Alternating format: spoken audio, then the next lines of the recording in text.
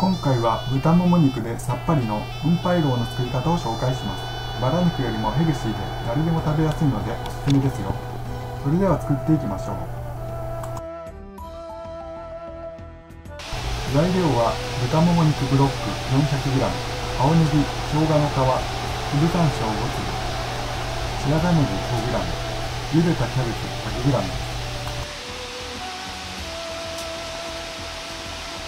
鍋にお湯を沸かし紹興酒と塩を少量入れます。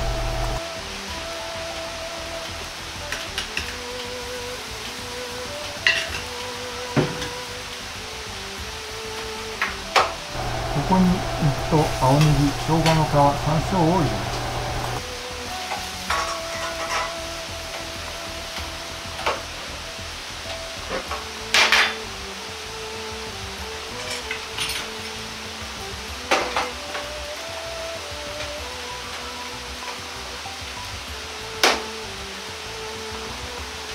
弱火にして30分くらい茹でていきます。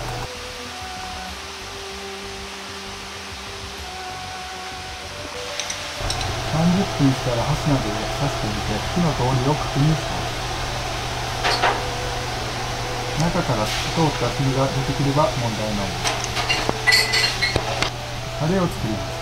おろしにんにく、生姜、長ネギ、みじん各小さじ1、豆板醤小さじ1分の1を入れます。砂糖を小さじ1入れます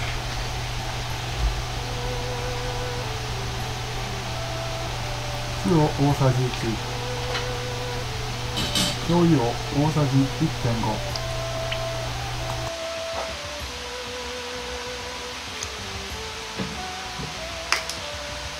ごま油大さじ1を入れよく混ぜ合わせておきます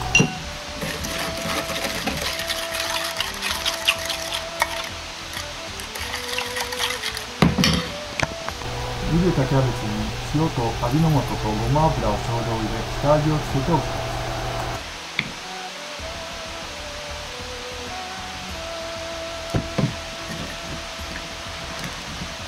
よくあえておきます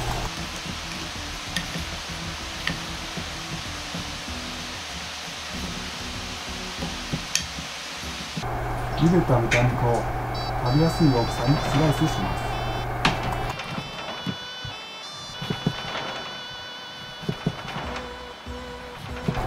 バラ肉のように油でブヨブヨしてないので切りやすいです。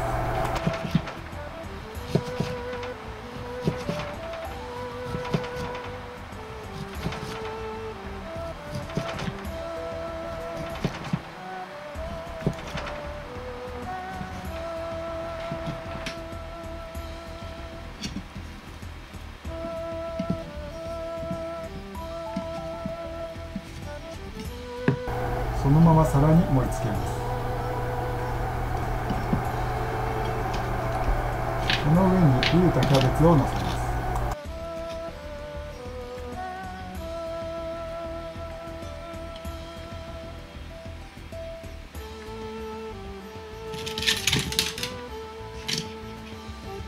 肉の上にタレをかけていきます。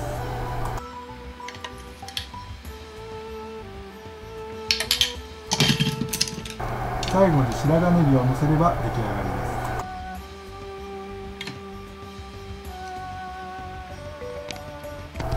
茹でてタレをかけるだけの簡単な料理なのでよかったら作ってみてください。このチャンネルでは簡単なまかない料理や本格的な中華料理の作り方を紹介しています。よかったら高評価とチャンネル登録をお願いします。リクエストなどがありましたらコメント欄にお願いします。最後まで見ていただきありがとうございます。また次回よろしくお願いいたします。